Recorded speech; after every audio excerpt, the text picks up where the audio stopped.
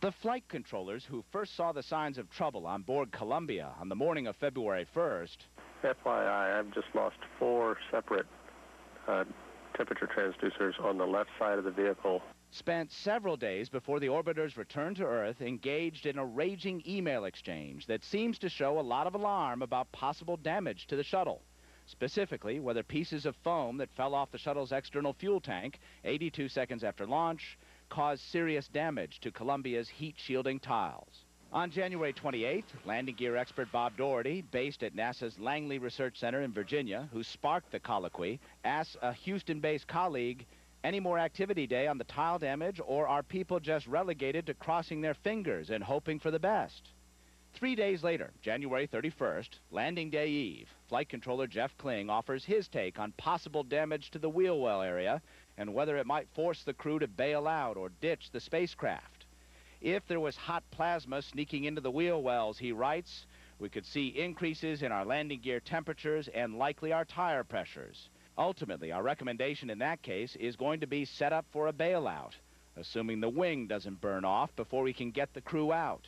Kling held a teleconference with reporters hours after NASA released this batch of seemingly prophetic emails. He says the entire team had complete faith in the analysis done by Boeing engineers that concluded the foam did not inflict a fatal blow.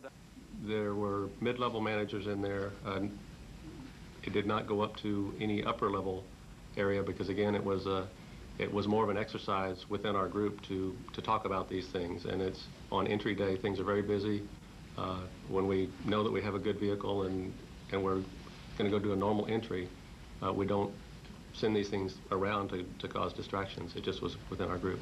Kling says he and his team had no concerns about the health of the vehicle when he sat down at the console on February 1st. But one engineer from shuttle contractor United Space Alliance weighs in with this. Why are we talking about this on the day before landing and not the day after launch? We asked the engineers why the what-ifing wasn't shared with the upper management of the shuttle. They said, well, you have to be very clear-cut and have concrete evidence before you do that. But interestingly, in the midst of all of this, the Air Force offered to aim one of its telescopes at the shuttle to see if it could spot any sort of damage. NASA waved them off this, that effort. So uh, partially because in the past they hadn't had much luck with that type of effort. So at the end of this day, what do we know? In a sense. I mean, we know that these engineers had these concerns and that these concerns didn't get to the people at the top. Do we know if it would have made any difference? Well, that's the, that's the $64 million question. Who knows how many million? But the fact is, they still could not come up, if you look at those emails, they were trying to come up with a scenario that would make it safe for the shuttle to come back home if that were the case in this what-ifing. They couldn't come up with one. So you're right. It gets back to that whole issue of a mood issue. Thank you. Latest now on the Shuttle Columbia disaster. The head of NASA, Sean O'Keefe, was on Capitol Hill today where legislators put a lot of focus on emails that came to light yesterday. They showed there was a fierce debate among engineers, though not at the highest levels, on whether damage to the shuttle during liftoff could prove disastrous during reentry. A lot of questions surrounding the debate. How was it handled? Who should have known about it?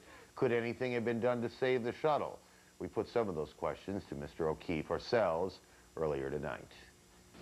I want to talk broadly about where the investigation is in a minute, but I think people who uh, watched us last night, who read the morning papers today, are interested in these emails that um, were at least troubling, and clearly uh, some of the engineers were troubled by them.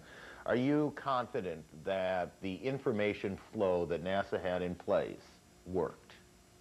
Yes, sir. I mean, it, it is a clear uh, evidence that there was a very spirited discussion, as there is in every one of these scenarios, of trying to deal with what could happen, what might happen, working through all the what-ifs in order to determine what could be done if it was determined to be a safety of flight issue.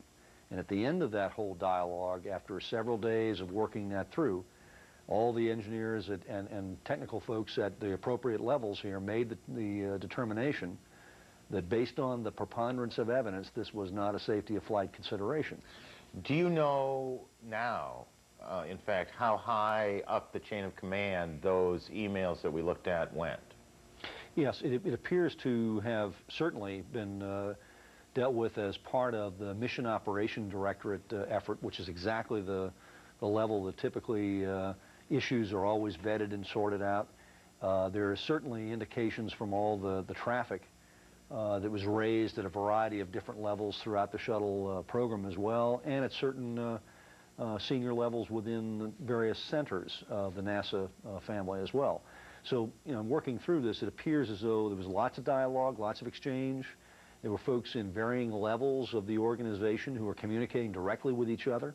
And again, that's the kind of dialogue and exchange that we see and want to encourage each and every time. So just trying to sort uh, through a lot of stuff, and then I want to move on here if I can. Yes, sir. Um, you are confident that people who needed, who were capable of making decisions, or at least encouraging that decisions be made. Uh, it's a complicated uh, bureaucracy that, that is involved here, but that the information flow system worked. You are confident of that?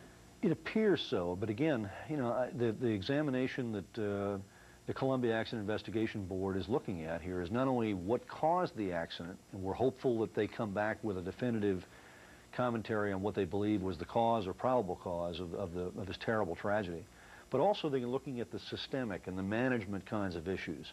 Were the judgments made at the right levels and so forth? And I'm going to be guided by their findings because they're far enough removed from this to be able to give us a, a solid, independent judgment at that point. You Based can't- on the evidence we've seen, it looks like there was a exchange, spirited exchange between lots of levels and lots of uh, uh, technical uh, issues being going on that was not based on some hierarchical issue. It was all within varying levels throughout the organization, and that's heartening. But again, I, I need to be guided by that independent look. Let me try and uh, go two for one here if I can. Um, are you confident that uh, the board will come to a conclusion, that they'll understand what went wrong? And do you have any sense, is it possible to have any sense of when the shuttle will fly again?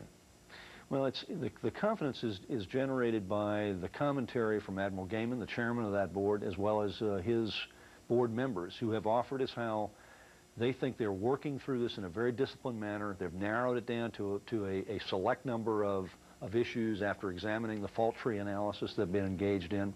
And the pace of the investigation is picking up. So it appears as though there is a, a likelihood, and they've offered their, their public statements in their press conferences, is that they feel like they're starting to narrow in on a number of areas.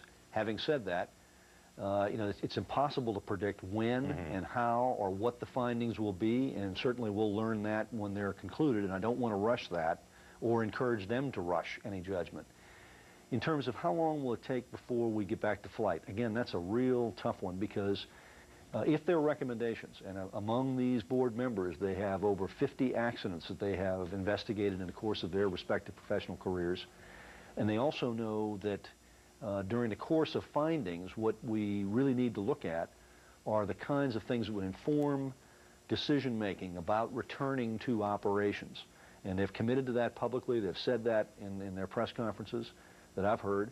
And so as a consequence, we're looking forward to whatever guidance they can give us whenever they can give it to us.